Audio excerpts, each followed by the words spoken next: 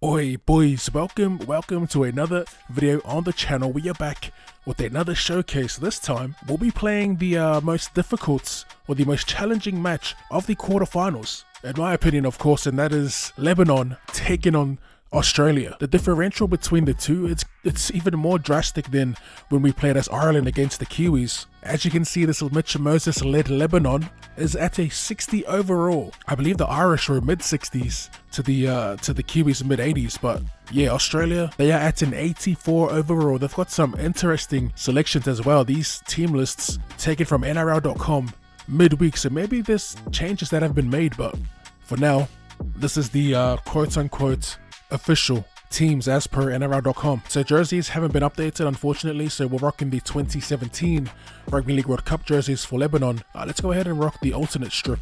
Aussie donning the classic green and gold. So weird seeing a massive ass sponsor slapped in the front. But anyway, let's get to the settings. Alright, so the venue. I must say, it is nice to play in all these European stadiums or all these English stadiums. Nice change of scenery. Ah, but yeah, John Smith Stadium, NRL, difficulty legend, 7 minute halves, change the ball to the World Cup. Field markings, we can turn this off. We can also turn extra time off. I think there will be a golden point rule, or maybe just uh, extra time. Should we turn major off? Because we're bound to pick up a few injuries. These boys are really low rated. Nah, stuff it, we'll try and manage. Uh, everything else is good to go. Alrighty, let's get this show on the road. Alright, so let's take a look at these lineups real quick. Uh, like I was saying about Australia, they got a weird uh, lineup when it comes to the forward pack at least. In the back five, that's stock standard. They got Cherry Evans named in the seven. They've got Harry Grant starting at hooker. Isaah Yeo as a wide running forward as opposed to playing at lock. They've got Cam Murray taking the 13. Uh, it's interesting to say the least. Even on the bench, they've got Wighton, no Ben Hunt, and they've got Cleary on the bench as well with Cotter and Carrigan. As for Lebanon, there's a couple of current NRL players and former. You have your Mitch Moses, plenty of potential in Doueihi and Kiraz, The Source, Reese Robinson. I was pretty impressed with Lebanon's first outing. I'm pretty sure I'm pretty sure a lot of people were against the Kiwis.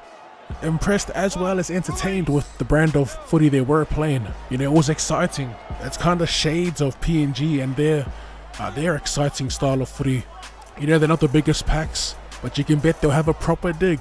I guess you can say that about a few of the minnows, but um, Lebanon, they've been up there as most improved for me. So the game plan heading into this, try and avoid the middle as much as possible and play on the edges. Kick early, plenty of kicking on the fourth in this.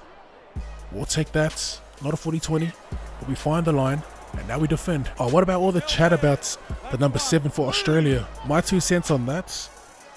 Um, I thought after Origin, DCE solidified his spot as the 7 for now, for, for the World Cup at least.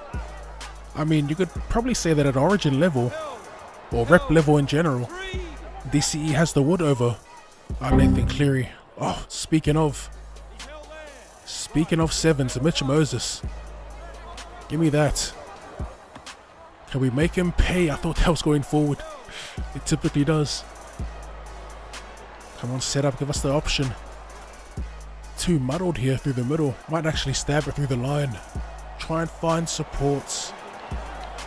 As we head to Mitch. There's a little dab. There's the supports. We dive early. And we make it. I thought we were going to drop that for sure. That might be the move, actually. Dive early. Hit those edges, baby. Stay away from their middles. Otherwise, we will get sent to the Shadow Realm. Kazi at hooker. Gotta look for Mitchell Moses. Here he is. Bit of speed to get around one. And Doueihi in support. That's what you want to see from the two. Mansour looking to... That was... Yeah, mad. That was mad. I thought he was on his way out. We are being dragged to the sideline. Oh, kill him! Thanks to the set play oh, Tedesco. Killing two birds with one stone. Breaks away from a couple more inside the 10. Will they take the two? Loving that logo. Of course they're not. It's Australia we're talking about here. If it goes to the skies, we're doomed. if it goes on the toe, we should be sweet. Up it goes on the chase. Campbell Graham, too good in the air, but he can't get it down. I'll show you why. We'll use foresight here. We'll put it on strength. And look at our middles. They're all red. That is why you won't be seeing many runner straight challenges from us. Bit of DNP action here. But he fails to draw in any defenders. Lucky to hold on to that. As we sneak a kickoff downfield. And Tedesco will run it into touch. Thank you, Glitch. Should be on for the old switcheroony. It's actually been a minute. As we get it to Mokos. We find the source. There's another offload. And supporting Adam Doueihi. We'll score our second try of the day. Come on, baby. That's what we love to see here from the Lebanon. Al Sakim. Oh, Doueihi was through. What am I doing? Little too pass happy. Now we we give the Australians the golden tickets. Can we cheese them out? Make them take the two? Surely not. Yep. Of course they back themselves. That's our last get out of jail free card too for the half. Tell me why we're low-key defending better than within our clubs that we play with typically. Oh, Cam Munster. That's their drop down. We had no penalties to give away, no nothing. We just take it. That's probably the cleanest I've seen this animation. There's barely any uh, clipping going on here between the player models. We've got old Reese Lightning here. The original Reese Lightning. Man, he's still quick. Whoever made this model, or this player, got his speed on point. As Cherry Evans, we finally pull him down. Bit of a late scare after a nice little line break. We have to we have to use him more often. Didn't realize he was that fast still. Our little strat of avoiding the middle is actually paying off for us. And the times we have hit the middle, we haven't been getting pumped. Like losing possession type of pumped. As Robinson gets tackled this time. Like I said, I do want to get him more involved. Kiraz is pretty gassed. We might have to chuck him at fullback. Like look at Kiraz right now running in sand. They give away a penalty. But a Bit of discipline here from the Aussies. It's essentially a no sidestep and no fend challenge as well because uh, you can you can bet we won't be sidestepping or fending. As much as we spam that right analog, it is not going to get triggered. I can guarantee you that. Every run we take in the middle, I'm, I'm bloody wincing because you just know a big hit's on the way. As we try to draw, oh man, we got him through again. Another clean line break. as we play out the back. I was about to dive early with Mitchell Moses. It's worth risking it. Doueihi. One more. Pass the ball, Marcos. Man, we do be looking pretty clean with the Bosch movement here. Little grubber. Grubber kick cheese. Man, that, that kick went half a centimeter forward. And we, we threw that play. All that hard work for nothing. Do we cheese a drop goal next time we get down here? Imagine playing that ready. That Lebanon defense needs to take about 29 meters gained. That's Australian pack on the ropes. Let's go source. Can we source some extra meters on the return? That is a negative. First, get it moving.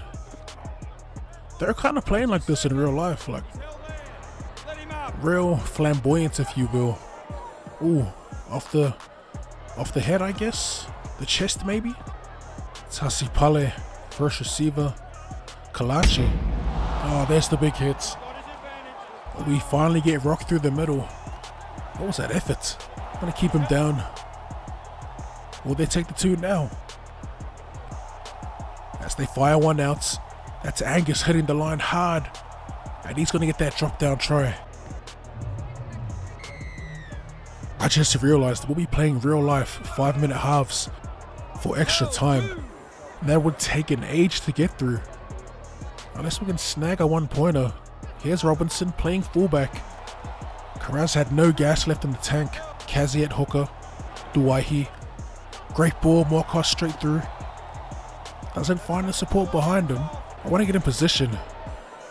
Bro, why? Oh, it works out. And he finds the source. That speed is something else from Robinson. Absolutely love to see it. Let's run it here. Let's look for Moses.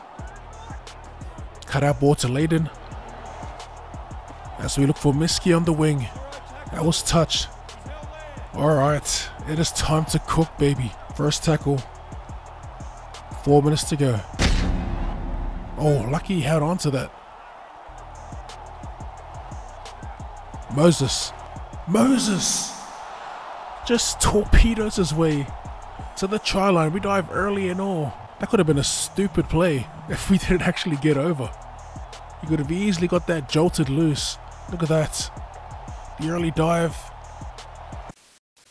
Full time, full time. This ends up being one of our best showcases, or one of our better ones. Lebanon a 60 overall, beating the Kangaroos on legend. How good. Look at the stats though. We made 8 errors, gave away 4 penalties, and missed 10 tackles and somehow still came away with the victory. The Kangaroos, zero missed tackles. A pretty hectic showcase. We'll be back with a couple more showcases before before the official matches take place. We'll either play as Samoa or Tonga. I'm undecided as of yet.